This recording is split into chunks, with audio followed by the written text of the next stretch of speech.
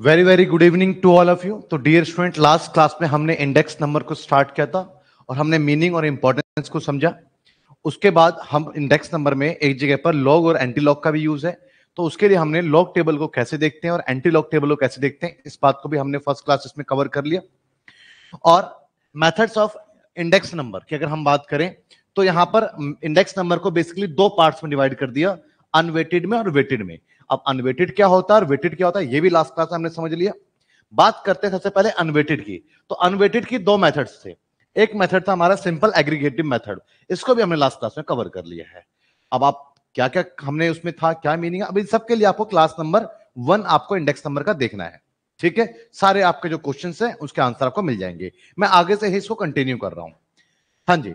तो अनवेटेड में आज मैं बात करता हूँ simple average of price relative method simple average of price relative method simple इसलिए कह रहे हैं क्योंकि इसमें जो है वेटेज नहीं है। इसमें सिर्फ़ प्राइस प्राइस ही गिवन होगा। आपके पास कौन कौन से कॉमोडिटीज है, ये आपको बता देंगे। लेकिन किस कॉमोडिटी की कितने वेटेज है, कितनी क्वांटिटी है, उसके बारे में आपको यहाँ पर कोई भी, आपको इंफॉर्मेशन नहीं होगी और उसका हमें यूज़ भी नहीं करना।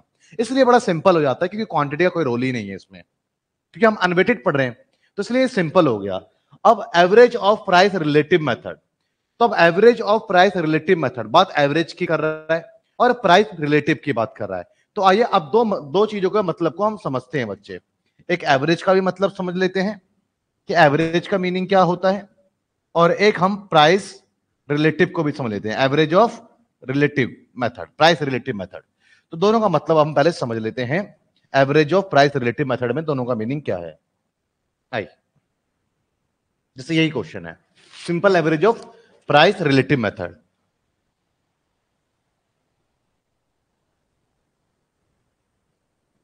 हाँ जी देखें जरा।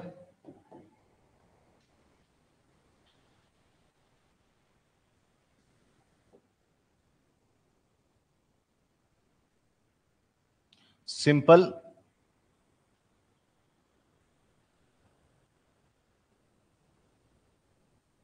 Average of price, relative, method.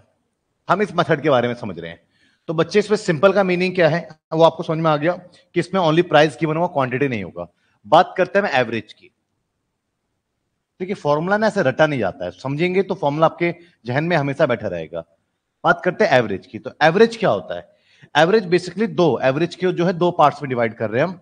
Average के दो पार्ट्स हो गए बेसिकली एक तो आपके पास में इसको हम बोलते हैं अर्थमेटिक मीन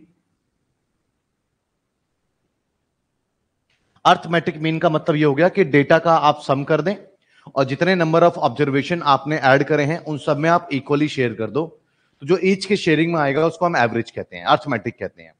फॉर एग्ज़ाम्पल जो आपके क्लासरूम है, मैं इसका अगर एक एवरेज एज कैलकुलेट करना चाहता हूँ जितने भी स्टूडेंट मेरे सामने हैं, मेरी क्लास में, मैं सबकी एज का सम कर दूँगा। ऑब्वियसली सबकी एज कहीं ना कहीं डिफरेंट डिफरेंट तो होगी। किसी में दो महीने का फ़र्क, किसी में छह महीने, किसी में एक साल का डिफरेंट होगा। हाँ किसी की सेम भी हो सकती है बट जो भी है, मैंने उसका सम करा। और divided by number of students जितने भी स्टूडेंट्स हैं, उनसे मैंने इसको डिवाइड कर दिया। तो यहाँ पर जो ईच स्टूडेंट के ऊपर शेयरिंग आएगी, उसको हम अर्थमेटिक मीन कहेंगे, हम उसको एवरेज कहेंगे। मैं मानता हूँ इस चीज़ को कि सारे बच्चे उस एज के नहीं है। लेकिन उसके आसपास, और एवरेज का बस इतना ही रोल होता है कि आप किसी ग्रुप को रिप्रेजेंट कर पाए, कि आपके ग्रुप का जो डेटा है बेसिकली किसके नियरेस्ट है या फिर किसके आसपास है। तो एवरेज का रोल ही इतना होता है किसी ग्रुप को रिप्रेजेंट करना। तो हम इस तरीके से निकाल सकते हैं, इसको हम अर्थमेटिक मीन कहते हैं। एक एग्ज़ाम्पल लेके चलते हैं।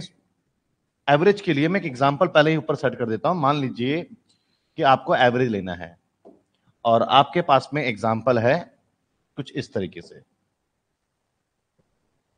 अर्थमेटिक मीन फॉर एग्ज़ाम्पल एक डेटा दो है एक डेटा आपके पास में आठ है। इसका एवरेज लेना है। तो सिंपल आप क्या करोगे? Two plus eight upon two दो ऑब्जर्वेशन दो से डिवाइड कर दोगे। तो कितना आपका आ जाएगा? फाइव ये आपका एवरेज हो गया। क्लियर है बच्चे? सम और divided by number of observation average का एवरेज का सब्सिट्यूट एक और चीज़ होता है। इसका मतलब ये होता है कि ग्रुप को रिप्रेजेंट करने के लिए एक डेटा इसको हम क्या बोलते हैं? हम ज्योमेट्रिक मीन कहते हैं, ये मैं करवाऊँगा आपको मेज़रमेंट ऑफ़ सेंटर टेंडेंसी में एक टॉपिक है ज्योमेट्रिक मीन और हार्मोनिक मीन दो टॉपिक आपके हैं, इसको मैं बहुत जल्दी करवाऊँगा। लेकिन अभी आप फ़िलहाल इतना समझिए जितना इंडेक्स नंबर का यूज़ करने के लिए हमें नीड है। क्योंकि आगे ज्योमेट्रिक मीन का कोई यूज़ ही नहीं है इंडेक्स नंबर में। और अभी हम ज्योमेट्रिक मीन को पूरा डिटेल में पढ़ने लग जाएँगे तो ज्योमेट्रिक मीन में फिर क्या पढ़ेंगे? और फिर इंडेक्स नंबर जो है कहीं ना कहीं, उससे आप जो है थोड़ा सा आप हट जाएँगे। इसलिए इंडेक्स नंबर को इंडेक्स नंबर रहने देते हैं। ज्योमेट्रिक मीन को इतना पढ़ लेते हैं जितना इंडेक्स नंबर में इसका यूज़ है, बस। लॉजिक क्या है, क्यों है, कैसे है, इनसे ही बात चर्चा हम ज्योमेट्रिक मीन के टॉपिक पर ही करेंगे। फ़िलहाल ज्योमेट्रिक मीन क्या होता है? Basically substitute of arithmetic mean भाई अगर आपको चाय नहीं मिली तो आपने क्या करा? कॉफ़ी पी ली। सब्सिट्यूट कर लिया। बॉल पेन नहीं मिला, आपने जेल पेन से लिखना शुरू कर दिया। तो ऐसे ही जो काम अर्थमेटिक करता है अर्थमेटिक मीन करता है सेम वही काम ज्योमेट्रिक मीन भी करता है। तो ज्योमेट्रिक मीन भी ग्रुप को रिप्रेजेंट करने वाला एक नंबर है, जिससे पता लग जाता है ग्रुप के जो डेटा है, लगभग लगभग किसके नियरेस्ट है। उसको भी ज्योमेट्रिक मीन ही कहते हैं। बस कैलकुलेशन का मेथड अलग अलग हो जाता है।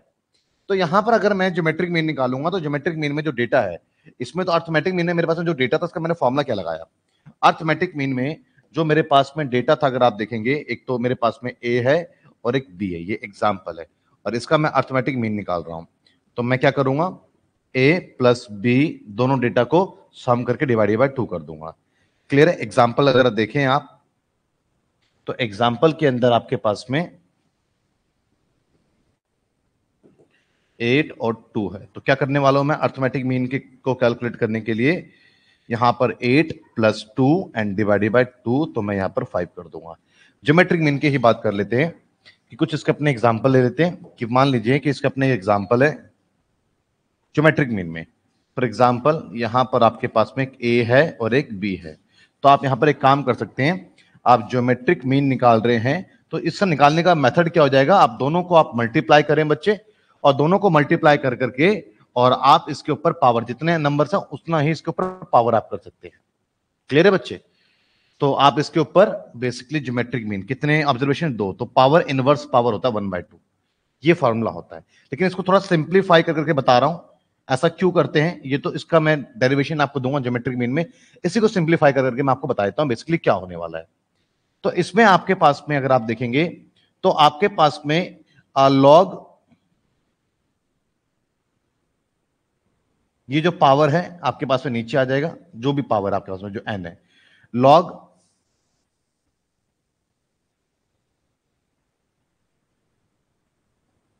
या फिर summation of data log A plus log B या फिर मैं कर देता हूँ लॉग एक काम करते हैं ना log A plus log b and divided by number of observation n, और इनटू में हम यहाँ पर कर देते हैं एंटी लॉग ये दोनों फॉर, एक ही चीज़ है दोनों दोनों अलग अलग नहीं है। ये एक ही बात है। तो ज्योमेट्रिक मीन के दो फॉर्मूले हो गए आपके पास में। एक तो log A plus log B divided by N anti log आज थोड़ा सा स्क्रीन मुझे ऐसा लग रहा है कि ब्लर दिख रहा है। क्या आपको भी ऐसा दिख रहा है? तो आप मुझे बताएँ। थोड़ा सा मुझे लग रहा है कि क्लियर नहीं दिख रहा है, थोड़ा कैमरे ब्लर आ रहा है।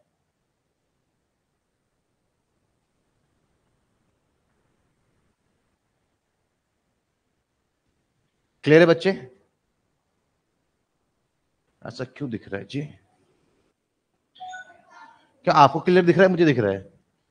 यस सर क्लियर नहीं हुआ, है ना? चलिए, मुझे आप दो मिनट देंगे आप, पहले मैं इसको प्रॉब्लम को सॉल्व करूँ, फिर आगे बढ़ूँगा। ये क्लियर क्यों नहीं?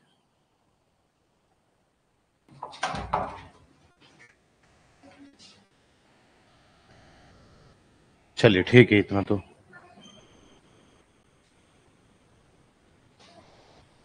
हम्म। ठीक है जी। अब बाद में इसको और अच्छे कर लेंगे। अभी फ़िलहाल हम क्लास को कंटिन्यू करते हैं। इतना तो है कि क्लास आराम से हो जाएगी। हाँ जी बच्चे, देखिएगा। तो आपके पास में एवरेज को कैलकुलेट करने के बेसिकली आपके पास में दो मेथड्स हैं। एक तो अर्थमेटिक मीन और एक आपके पास में ज्योमेट्रिक मीन दोनों एक ही चीज़ को रिप्रेजेंट करते हैं कि ग्रुप का डेटा अप्रोक्सीमेट किसके नियरेस्ट है। और आपके पास अर्थमेटिक मीन का स्ट्रक्चर आपको मालूम है? ज्योमेट्रिक मीन का भी मैंने आपको यहाँ पे बता दिया है। क्वेश्चन पे अप्लाई करते हैं क्वेश्चन से करते हैं क्वेश्चन है क्या? अब यहाँ पर आपको एवरेज का मीनिंग क्लियर हुआ फ़िलहाल। आपके इंडेक्स नंबर में एवरेज को हम किस तरीके से यूज़ करेंगे? दो तरीके से। अब प्राइस रिलेटिव का मतलब समझते हैं कि प्राइस रिलेटिव का मतलब क्या है। देखिए बच्चे, यहाँ पर आप क्लियर करिए पहले प्राइस रिलेटिव रिलेटिव का मतलब क्या होता है? कंपैरिजन जहाँ पे प्राइस को हम रिलेट करेंगे। अब जब हम किसी एक को दूसरे से रिलेट करते हैं तो इसका मतलब क्या होगा? कहीं ना कहीं हम कंपैरिजन करते हैं। फॉर एग्ज़ाम्पल अगर मैं बात करता हूँ किसी कम्युनिटी की प्राइस का तो पहले प्राइस दस रुपए हुआ करता था। आज के टाइम पर current year price P one क्योंकि अगर आप पहले वाले प्राइस को ले रहे हो, वो बेस ईयर हो गया जिससे आप कंपेयर करते हैं। उसको पी ज़ीरो से रिप्रेजेंट करते हैं। और जो करंट वाले प्राइस की बात कर रहे हैं, वो आपका करंट ईयर प्राइस हो गया पी वन ये दो। अगर आप कंपेयर करेंगे प्राइस को तो आप ऐसे कंपेयर कर सकते हैं कि आज का प्राइस कंपेयर अगर आप करते हैं कंपेयर बच्चे होता कैसे इस बात को समझिएगा। जिसके बारे में अगर आपको जानना है, आज का प्राइस के बारे में जानना है तो आज का ये आपका ऊपर आ जाएगा और कंपेयर किससे कर रहे हैं? बेस ईयर से। तो जिससे कंपेयर करते हैं, वो नीचे आ जाता है। क्लियर है बच्चे? बात समझ गए? अब एक बार बताएँ जरा। सिंपल सा एग्जांपल ले रहा हूँ मैं। पहले आप इसको सुनिए। ए और बी एक की इनकम दस हज़ार रुपए है और एक की इनकम बीस हज़ार रुपए है। मैं आपसे सिंपल क्वेश्चन पूछ रहा हूँ कि बी की इनकम बी की इनकम ए की इनकम का कितना टाइम्स है? बी की इनकम तो आप बोलेंगे, सर टू टाइम्स है। क्योंकि आप बी के बारे में जान रहे हैं तो बी को अपने ऊपर रखा और ए को नीचे डिवाइड कर दिया। अब मैं बोलता हूँ कि ए की इनकम बी की इनकम कितना टाइम्स है? ए की इनकम तो आप बोलोगे, सर हाफ़ है ज़ीरो पॉइंट फाइव टाइम्स है। तो आप ए के बारे में जाना तो ए को ऊपर रखोगे। तो इसीलिए जब भी जिसके बारे में जानना होता है नोमिनेटर में, जिससे कंपेयर होता है डिनोमिनेटर में। और अब ये क्या हो जाएगा? ये रिलेट हो जाएगा। मतलब कंपेरिजन हो जाएगा। और इसको अगर परसेंटेज में कैलकुलेट करना है तो मल्टीप्लाई बस हंड्रेड कर दो। तो सॉल्व करेंगे अगर आपके पास पे तो ये क्या हो गया? 120 परसेंट। इसलिए प्राइस क्या हो गया? प्राइस रिलेटिव हो गया। तो अब इस पूरे मेथड का नाम समझिए, आपके पास में क्या होने वाला है? Simple average of price relative method simple है, क्योंकि भैया वेटेज है नहीं अनवेटेड है। सिंपल एवरेज एवरेज से कित थ्रो करना है आपने?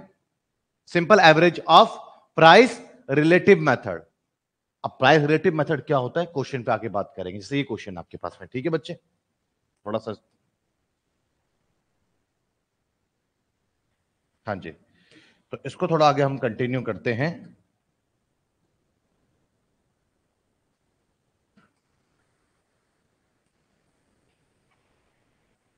देखिए कॉलम को आगे करते हैं, एक आपके पास में बेस ईयर प्राइस है।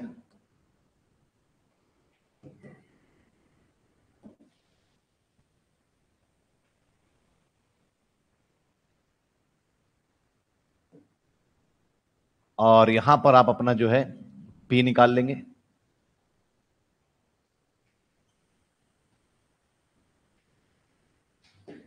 चलिए, देखिए, आप यहाँ पर क्या ऑब्ज़र्व कर रहे हैं बच्चे अपने पास में?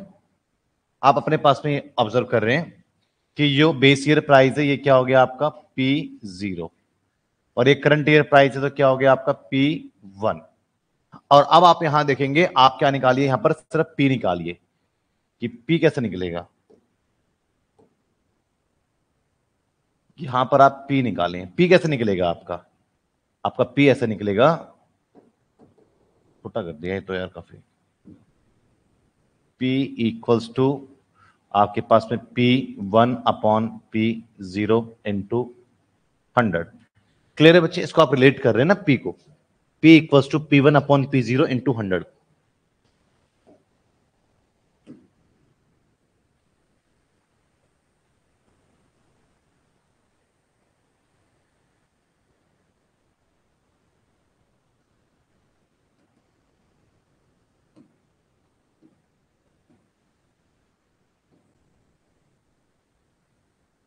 hmm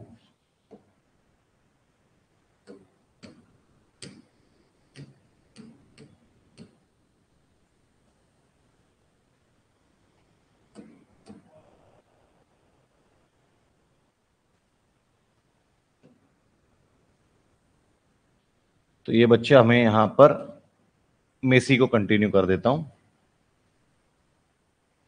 देखिए तो सबसे पहले आपके पास में ये बेस ईयर प्राइस है। तो इसको आप क्या बोलेंगे? पी ज़ीरो और ये करंट ईयर प्राइस है तो इसको आप क्या बोलेंगे? पी वन और यहाँ पर आप पी निकालेंगे। पी मीन्स क्या होगा? कंपेयर करेंगे प्राइस रिलेटिव करेंगे। प्राइस रिलेटिव कैसे आएगा आपके पास में?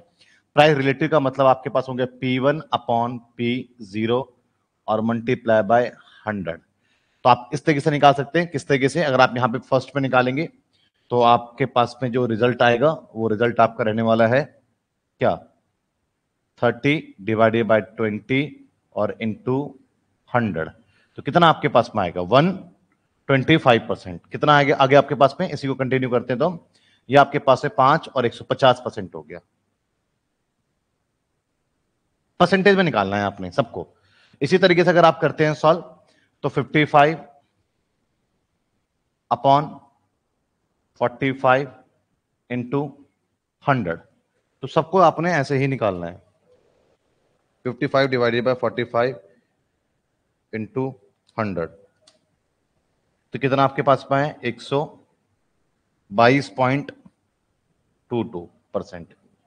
और इसी तरीके से आपको seventy five upon fifty into hundred तो सॉल्व करेंगे आपके पास में वन फिफ्टी परसेंट और आपके पास में seventy upon sixty into hundred तो आपके पास में seventy upon sixty into hundred तो आपके पास में एक सौ सोलह पॉइंट छः परसेंट और 90 upon eighty five into hundred तो सॉल्व करेंगे 90 upon eighty five into hundred तो एक सौ पाँच पॉइंट एट एट बच्चे, देखिएगा, इतनी, क्योंकि मैं कोई यूट्यूब का शॉर्ट्स नहीं बना रहा हूँ, जो कि मैं आपको क्वेश्चन और इंट्रोडक्शन दिया फॉर्मल लिखा चला गया। मैं यहाँ पर आपका पेड कोर्स में आपका कोर्स कंप्लीट करवा रहा हूँ। जैसे के स्कूल में होता है, जैसे आपके ऑफलाइन कोचिंग में होता है। तो हर एक चीज़ करना है, हर चीज़ कैलकुलेट करना है पूरे स्टेप को फॉलो करके पूरे क्वेश्चन को करना है। बात समझे? तो ये कोई शॉर्ट्स नहीं है, जिसमें कि आपको लग रहा है कि थोड़ा सा डिले चल रहा है, थोड़ा स्लो चल रहा है, नहीं। क्लास ऐसे ही होती है, आपका सिलेबस कवर होगा। हाँ जी, एक सौ पाँच पॉइंट आठ आठ परसेंट। अब यहाँ पे सॉल्व करते हैं तो आपके पास में 130 डिवाइडेड बाय 120 मल्टीप्लाई बाय 100 तो सॉल्व करेंगे आप यहाँ पे 130 divided by 120 twenty into hundred एक परसेंट। ये आपके पास में आ गया। तो ये आपने क्या निकाला बच्चे? सबसे पहले आपने यहाँ पर पी निकाला। अब प्राइस रिलेटिव हो गया। अब आपको क्या करना है? एवरेज ऑफ़ प्राइस रिलेटिव तो एवरेज किसका निकालना है? प्राइस रिलेटिव का निकालना है एवरेज तो एवरेज किसका निकालना है? एवरेज ऑफ़ प्राइस रिलेटिव इस बात को जरा समझिएगा। तो आपको अपना एवरेज किसका निकालना है? तो बच्चे, आपको अपना एवरेज जो है एवरेज किस चीज़ का निकालना है? इस बात को समझिए। किसका? प्राइस रिलेटिव का निकालना है। तो प्राइस रिलेटिव तो आपने कैलकुलेट कर लिया। अब आपको क्या करना है, इसका एवरेज निकालना है। नाम से क्लियर होगा। तो एवरेज कैसे निकालते हैं? जिसका एवरेज निकालते हैं, उन सबको हम सम करते हैं। तो यहाँ पर मैं एक चीज़ लिख देता हूँ नीचे। समीशन ऑफ़ पी क्लियर है बच्चे? तो समीशन ऑफ़ पी क्या हो गया? समीशन ऑफ़ पी आपके पास में 150 plus 122.22 plus 150 plus 116.66 plus 105.88 plus 108.33 तो क्या है आपके पास में? 753.09 अब आप कहेंगे, सर, एवरेज तो दो तरीके का है। तो एवरेज आपका दो तरीके का मैं बिल्कुल मानता हूँ, एक अर्थमेटिक एक ज्योमेट्रिक मीन तो मैं यहाँ पर सबसे पहले with the help of arithmetic mean किसके थ्रू कर रहा हूँ मैं ये आपका? ये मैं कर रहा हूँ with the help of with the help of arithmetic mean कर रहा हूँ मैं, ठीक है? तो अब आपके पास में अर्थमेटिक मीन में पहले एवरेज और प्राइस रिलेटिव तो प्राइस रिलेटिव है ये रिलेट करा, इसका मैंने एवरेज निकालना है तो कैसे निकालूँगा मैं? सिग्मा पी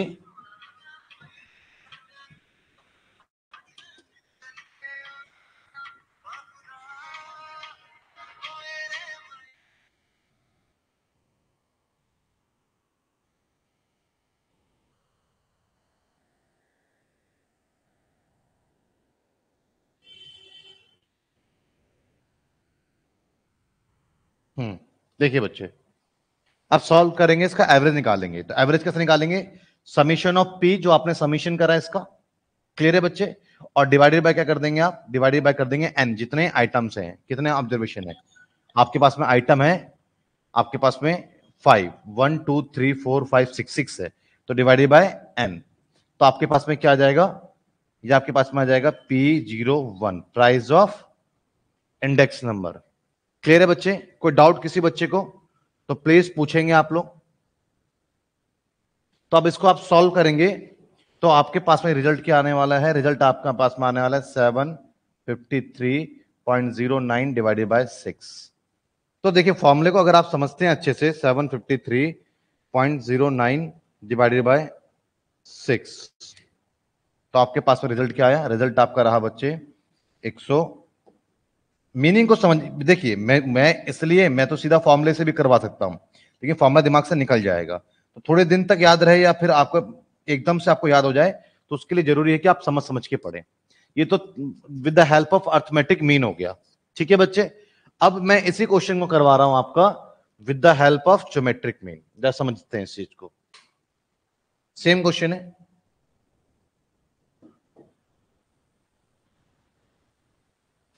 यहाँ पढ़ेंगे। With the help of with the help of geometric mean अब ज्योमेट्रिक मीन के लिए क्या चाहिए होता है हमें? हमें तो एक लॉग की वैल्यू चाहिए होती है, क्योंकि ज्योमेट्रिक मीन का आपने फॉर्मुला देखा है आपने। तो कोई बात नहीं अभी ज्योमेट्रिक मीन के बारे में आप जब करेंगे नहीं तो समझ में नहीं आएगा आपको। लेकिन फिर भी इतना ज़रूर पता लग जाएगा करना कैसे है। इसलिए बच्चे अभी सिर्फ़ इतना ही देखो जो प्रोसेस बता रहा हूँ। जब ज्योमेट्रिक मीन को आप अच्छे से समझ लेंगे ना तो आपको कोई प्रॉब्लम नहीं होगी। हाँ जी। तो ज्योमेट्रिक मीन के बारे में मैं बात कर रहा हूँ। वैसे अर्थमेटिक का एक सब्सिट्यूट है। तो ज्योमेट्रिक मीन के लिए मुझे पी है ना, इस पी की वैल्यू को मुझे किसमें लेकर जाना है? लॉग पी में। इसका मतलब क्या हुआ? 150 122 इन सबको मुझे क्या करना है? इन सबको मुझे लॉग के अंदर कन्वर्ट करना है। अब ये तीन दो पाँच डिजिट है तो मैंने बताया था लॉग टेबल में जब भी वैल्यू देखते हैं तो चार डिजिट का, तीन डिजिट का एक डिजिट का, पाँच डिजिट का नहीं दे सकते हैं। फॉर एग्ज़ाम्पल आइए मैं लॉग की वैल्यू आपके पास में लॉग टेबल है पीडीएफ है, आप हमेशा एक बात का ध्यान रखेंगे कि आप प्रिंट आउट ले लेंगे लॉग टेबल का, कभी भी आप बैठते हैं तो आप प्रिंट आउट ले लें, बार बार मैं एक स्मार्ट बोर्ड पे आगे पीछे करूँगा तो आप खुद इरिटेट हो जाएँगे। तो इसलिए जो है, आप लॉग टेबल की वैल्यू रखें, अपने पास में मैंने आपको शेयर कर दिया है कंटेंट में लगा दूँगा, और अभी तो फ़िलहाल आप लॉग टेबल को, मैं बता देता हूँ कैसे करना है आपने। फ़िलहाल इतने सारे एक तो है नहीं जो आपको एक्सप्लेन करूँ ऑलरेडी लास्ट क्लास में मैंने लॉग टेबल दिखा के सॉल्व करवाया हुआ है। तो यहाँ पर वैल्यू निकालेंगे आप 150 का सबसे पहले। तो मतलब 15 पे ज़ीरो लॉक टेबल की अगर मैं बात करूँ तो पंद्रह पे ज़ीरो। अगर मैं लॉक टेबल की एंटी लॉक टेबल है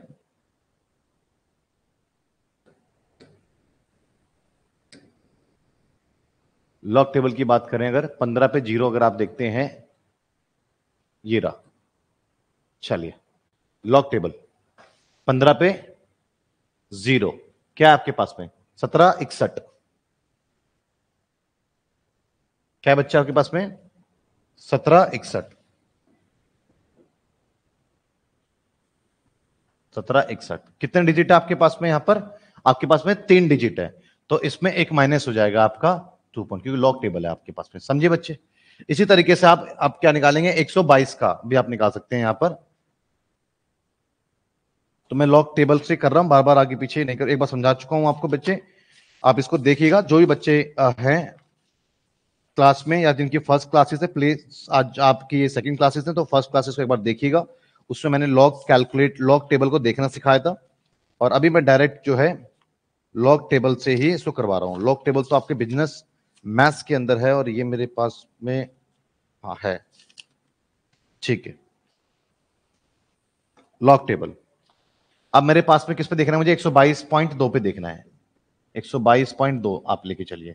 पॉइंट अवॉइड करो पहले 12 पे दो, फिर दो। पहले 12 पे दो देखूँगा मैं। तो 12 पे मैं दो देख रहा हूँ तो मेरे पास में नज़र आ रहा है ज़ीरो एट सिक्स फोर। फिर उसके बाद मुझे दो पे जाना है तो इसी में मुझे दो पे जाना है तो सात। तो सात मैंने ऐड करा तो सात, चार, ग्यारह, और एक, और ये सात, और ये आपके पास में आठ, और ये ज़ीरो। तो अब मेरे पास में क्या आया? ये zero eight zero eight seven one और तीन डिजिट है ना पॉइंट से पहले तो उसमें से जितने भी नंबर डिजिट है, उसमें से आप क्या करो माइनस वन कर दो। दिस वन सिमिलर 150 से फिर से ही आ जाएगा ना। 2.1761 116 अब आपको किस पे देखना है? आपको देखना है 116.6 6 को छोड़ दो। पहले आप देखो 11 पे जाओ तो 11 पे आपको क्या मिला? 11 पे आ गया। उसके बाद आप सिक्स कॉलम में जाओ तो 11 पे आप सिक्स कॉलम में गए। तो आपको मिला ज़ीरो छह चार पाँच ज़ीरो सिक्स फोर फाइव उसके बाद आप फिर सिक्स मीन डिफरेंस में जाओ और सिक्स पे जाओ। तो ग्यारह पे मीन डिफरेंस पे सिक्स पे गए हम। तो क्या मिला आपको? मीन डिफरेंस पे जाएँगे तो क्या मिलेगा आपको? ट्वेंटी थ्री तो इसमें ट्वेंटी थ्री आप जो है, वो आप ऐड कर दो। तो ट्वेंटी थ्री आपने यहाँ पर ऐड करा सिक्स पे तो आपके पास में आठ छ छ ज़ीरो तो आपके पास में यहाँ पर क्या आया? आठ छ छ ज़ीरो। तीन डिजिट है तो ये टू पॉइंट समथिंग अब वैसे ही फिर 105 पे आप जाएँगे। 105.8 चार डिजिट मैक्सिमम लेते हैं ना, पाँच डिजिट नहीं लेते तो पहले 10 पे जाइए 10 पे पांचवे कॉलम पे 10 के पांचवे कॉलम पे। आपका ज़ीरो दो, एक दो। ज़ीरो दो, एक दो। उसके बाद आप मीन डिफरेंस में आठवें पे चले जाएँगे। तो आठवें पे तैतीस। तो सॉल्व करेंगे आपका पाँच, चार, दो, ज़ीरो। तो क्या आपके पास में आया? ज़ीरो, दो, चार और पाँच। तीन डिजिट है तो एक माइनस कर देंगे, दो। अब ऐसे ही आपके पास में किस पे जाना है आपने? आपको जाना है एक सौ आठ पॉइंट तीन। बच्चे जो कह रहे हैं कमेंट से आप बोलें।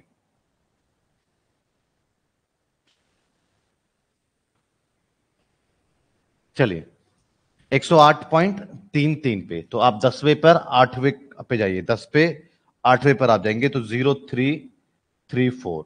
और उसके बाद आपके पास में जो है मीन डिफरेंस में थर्ड पे चले जाइए। तो मीन डिफरेंस में थर्ड पे चले जाएँगे बारह। तो सॉल्व करेंगे छह, चार, तीन और ज़ीरो तो आपके पास में क्या आएगा यहाँ पर? ज़ीरो थ्री फोर सिक्स और तीन डिजिट है तो दो डिजिट आ जाएगा दिस वन अब आपने क्या करना है इसमें? क्योंकि आपके पास में इसका फॉर्मूला अप्लाई है, आपने पी निकाला तो समीशन आप क्या कर देंगे यहाँ पर? आप समीशन करेंगे आप अपना। समीशन ऑफ़ लॉग पी तो समीशन ऑफ़ लॉग पी करेंगे अगर आप तो आपका रिज़ल्ट क्या आता है वो देखते हैं। Two point one seven six one plus two point zero eight seven one plus two point one seven six one plus two point zero six six eight plus two point zero two four, zero two four five, plus two point zero three four six. तो solve करते हैं twelve point five six five two, this one. अब आपके पास में यहाँ पर आप क्या निकालने जा रहे हैं? अपना पी ज़ीरो वन और आप ज्योमेट्रिक मीन के थ्रू निकाल रहे हैं। तो पहले क्या करेंगे आप? आपके पास में पहले आएगा एंटी लॉग दिस वन अब इसके अंदर काम होगा आपका। वन बाय एन और इसमें आपके पास में आएगा summation of summation of log P upon N this one क्योंकि आप इसका समीशन आपने करा है और डिवाइडेड बाय एन एन से क्या आ जाएगा? आपका एवरेज आ जाएगा। तो यहाँ पर भी आपके पास में एवरेज आ गया थ्रू द ज्योमेट्री मेथड लेकिन उसके बाद आप उसका एंटीलॉग एंटीलॉग क्यों निकालते हैं? ऑलरेडी मैंने लास्ट क्लास में आपको बताया था एंटीलॉग आप क्यों निकालोगे? कि अगर मैं इसी क्वेश्चन को सॉल्व करूँगा ना ज्योमेट्रिक मीन के लिए तो पावर वन बाय टू को नीचे लाने के लिए बोथ साइड में लॉग लूँगा। तो ये वन बाय टू नीचे तो आ जाएगा, मेरे पास में जो एन है। लेकिन ये ज्योमेट्रिक मीनिंग के आगे लॉग रह जाएगा। फिर इस लॉग को लेके जाऊँगा तो क्या हो जाएगा? रेसिप्रोकल में आ जाएगा तो एंटी लॉग बन जाएगा। उसमें डिटेल में समझेंगे मतलब फ़िलहाल अभी फॉर्मुला भी आप इसको फॉर्मुला फॉर्मुला देख लो। आगे कोई यूज़ नहीं है इसका। P zero one equals to anti log summation of log P twelve point five six five two upon N कितने आइटम्स है? सिक्स आइटम है। दिस वन तो P zero one equals to आपके पास में twelve point five six five two sum divided by six तो क्या है आपके पास में anti log two point zero nine four two ये आया अब आप इसको सॉल्व करेंगे, अब एंटी लॉग की वैल्यू निकालेंगे पी ज़ीरो वन तो सबसे पहले आपके पास में, आप पॉइंट को आप बिल्कुल अवॉइड कर सकते हैं। आप चार डिजिट अपना ले लें। तो चार डिजिट आप बेसिकली लेंगे तो कौन से चार डिजिट लेंगे? ये ले लीजिए। तो बीस पे नौ, फिर चौथे पे चले जाइए आप। तो एंटी लॉग अगर आप निकाल रहे हैं, मैं लास्ट क्लास में सिखा दिया था बच्चे उसके थ्रू आप निकाल सकते हैं। एंटी लॉग किस पे जाना है आपको? एंटी लॉग में ट्वेंटी पे जाना है। तो ट्वेंटी पे अगर आप गए और ट्वेंटी पे आपको नाइन कॉलम में आना है तो ट्वेंटी पे आप आए, सोलह अट्ठारह। सोलह अट्ठारह और आपके पास में मीन डिफरेंस क्या आपके पास में? ट्वेंटी पर, नाइन पे क्या फोर है। वन। तो वन, सिक्स, वन, नाइन। तो आपके पास में क्या है ये? ये आपके पास में आए बच्चे, one, six, one, nine. Clear है? कोई डाउट किसी बच्चे को तो प्लीज़ आप इस चीज़ को पूछेंगे। अब आप यहाँ देखेंगे क्या है कि आपके पास में पॉइंट से पहले पॉइंट से पहले क्या है? पॉइंट से पहले क्या है? आपके पास में दो है। तो इसमें प्लस वन कर दो तो तीन हो गया। तो मतलब तीन डिजिट के बाद पॉइंट लगेगा। एक, दो, तीन दिस वन तो वन सिक्सटी पॉइंट ये दिस वन ये आपका क्या हो गया? ये आपका इंडेक्स नंबर हो गया ज्योमेट्रिक मीन के थ्रू पेपर में ये आ सकता है। लेकिन जब आप ज्योमेट्रिक मीन में पढ़ाऊँगा तो आपके मन में सवाल बस करना तो आपको आ गया, क्योंकि आपको लॉग पी कैसे निकालेंगे? इसका निकालेंगे हम पी का लॉग पी तो लॉग पी हम कैसे निकालेंगे? आपको लॉग टेबल में देखना सिखा दिया है। तो आप इसको लॉग टेबल के थ्रू इनकी वैल्यू आप रख सकते हो, पहली चीज़। समीशन कर सकते हो कैलकुलेटर की हेल्प से। अब सवाल यह कि फॉर्मूला कैसे बना? इस सवाल का जवाब आपको ज्योमेट्रिक मीन में ही मिलेगा, सही तरीके से, ठीक है? तो इस फॉर्मूले में समीशन ऑफ़ लॉग पी रख लिया डिवाइडेड बाय एन रख लिया। अब ये एंटी लॉग की वैल्यू कैसे निकालेंगे? ये भी मैंने आपको इंडेक्स नंबर की फ़र्स्ट क्लास में सिखा दिया। तो जितने रिक्वायरमेंट है क्वेश्चन करने का उतना बता चुका हूँ। डिटेलिंग और सेटिस्फेक्शन के ये कहाँ से आया फॉर्मूला ज्योमेट्रिक मीन का।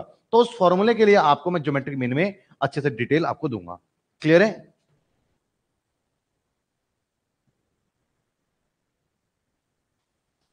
हाँ जी लॉग टेबल आपको पेपर में ही मिल जाएगा। क्लियर है बच्चे? तो लॉग टे, लॉग टेबल आपको एग्ज़ाम्स में ही मिल जाने हैं।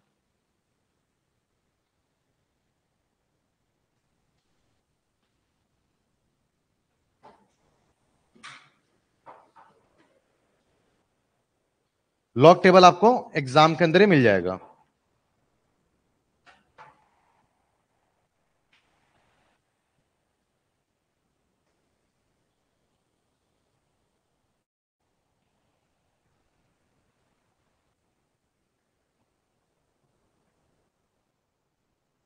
ट्वेंटी पे नाइन एक बार चेक कर लेता हूँ मैं।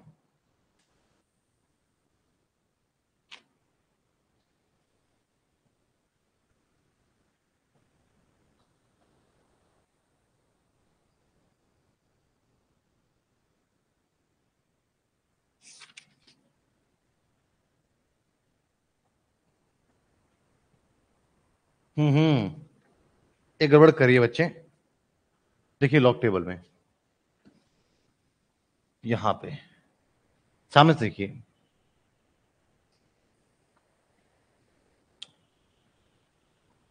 हम्म। आपके पास में क्या निकालना है आपने? एंटी लॉग निकालना है। किसका निकालना है आपको anti log twelve point divided by six two point zero nine four two ठीक है? एंटीलॉग कैसे लेते हैं? एंटीलॉग कभी भी अगर आप लो तो पॉइंट के बाद वाले का लेते हैं हम। ज़ीरो नाइन फोर टू बस, इसका लेते हैं एंटीलॉग तो आपके पास में इसका लोगे तो ज़ीरो नाइन पर फोर तो आपके पास में एंटीलॉग पे अगर आप देखें, ये लॉग टेबल है आपके पास में तो आप एंटी लॉग देखते हैं तो एंटी लॉग में आपका ज़ीरो नाइन तो ज़ीरो नाइन पर आप चले जाइए। तो आपके पास में, और उसके बाद आपको फोर्थ कॉलम पे जाना तो ज़ीरो नाइन पर आप फोर्थ कॉलम पे चले जाएँगे। तो 124 दो। 124 दो। और मेन डिफरेंस क्या है? टू है। तो आप मेन डिफरेंस वाले चले जाएँगे टू पे। तो क्या वन है? तो क्या है आपका? 124 और तीन। तो आपके पास में बेसिकली इसका अगर आप लेते हैं, इसका अगर आप, क्या होता है कि पॉइंट के बाद वाले का लेते हैं हम दिस वन तो क्या है आपके पास में? वन टू फोर थ्री ये, अब यहाँ पर क्या आपके पास में? दो है तो इसमें ऐड कर दो, तीन. तीन डिजिट का पॉइंट आ जाएगा. दिस वन तो पी ज़ीरो वन ये आया. अब आप देखिए, मैंने क्या बोला था? सब्सिट्यूट होता है. ग्रुप को रिप्रेजेंट करने के लिए आपके पास एक नंबर यहाँ पे क्या है? With the help of arithmetic mean और यहाँ पर क्या है आपका? With the help of geometric mean तो दोनों क्योंकि एक ही काम के लिए यूज़ में आते हैं तो दोनों का में कोई खास डिफरेंस देखने को नहीं मिलेगा आपको. क्लियर है बच्चे? समझे?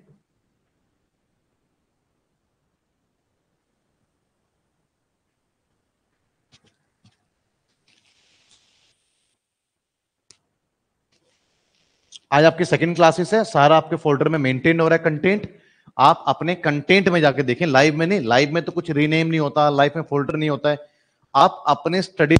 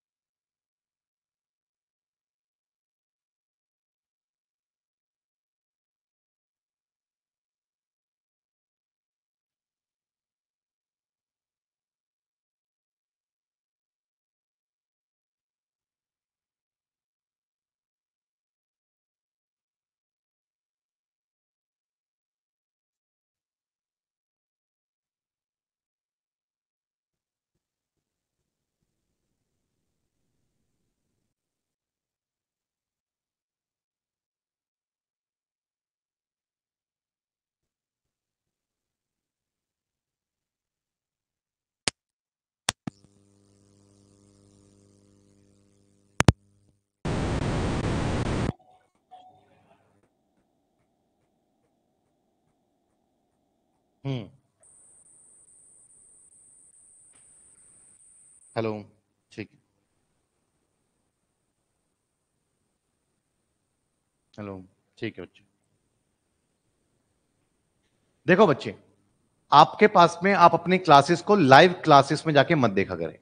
अभी क्लास ले रहा हूँ, लाइव में है। अभी तो आप लाइव ही अटेंड करोगे, पर बाद में किसी क्लासेस देखनी हो तो आपके पास में कंटेंट नाम का ऑप्शन भी होगा। कंटेंट में जाइए। उसमें आपका प्रॉपर एक आपका फोल्डर होगा लाइक इंडेक्स नंबर उसमें अगर आप जाएँगे तो इंडेक्स नंबर है classes one introduction simple aggregative method के नाम से होगा, एक आपके पास में. वीडियोस की होगी, और प्लस में जिस क्वालिटी में आप अभी देख रहे हैं, इस क्वालिटी को काफ़ी अच्छा बढ़ा कर करके उस कंटेंट में डाला जाता है. और उसके बाद अगर आप देखते हैं तो उसके अंदर जो क्लास वन में पढ़ाया, जैसे बोर्ड पर है तो इसकी पीडीएफ सेम जो मैंने लिखा हुआ है सेम पीडीएफ क्लास वन की जितना पढ़ा है, उतने ही पीडीएफ आपको उसके नीचे मिल जाएगी, क्लास वन में। फिर क्लास टू का फोल्डर होगा इंडेक्स नंबर में, जो आज मैंने पढ़ा है। तो क्लिक करोगे तो इसका नाम होगा फोल्डर के ऊपर क्लास टू, ज़ीरो टू, और इसका नाम भी होगा आपके पास में, average of price relative method. Clear है? Simple average of price relative method, नाम होगा आपके पास में। और इसमें अगर आप नीचे जाएँगे तो आपके पास में वीडियो मिल जाएगी जो मैंने आज पढ़ाया और प्लस में वो कंटेंट मिल जाएगा। तो यही तो फ़ायदा है थोड़ा सा ये डिफरेंस आ जाता है पेड कोर्स में, बच्चा ज़्यादा परेशान नहीं होता कि भैया कहाँ पर क्या ढूंढना है। तो कंटेंट में जाके देखेंगे अगर आप अवेयर नहीं है तो। क्लियर है बच्चे?